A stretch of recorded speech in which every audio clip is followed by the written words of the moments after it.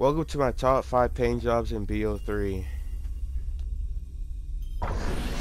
This brass knuckles with the perks on them. I think it looks pretty cool. And yeah, this is my number 5 pick.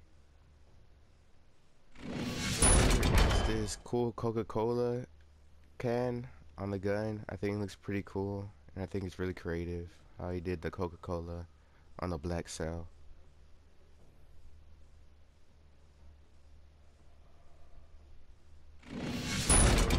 Is this Captain America Argus. It looks pretty cool. I like how he did the shield on the circle of the gun. And yeah, I think it looks pretty sick. Two, I chose this sword that looks like a lightsaber. And I think it looks pretty cool. And looks nice.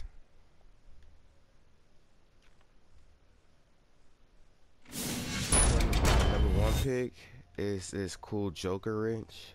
It's pretty cool how he did the wrench and that's his Joker's mouth. I think that's pretty cool.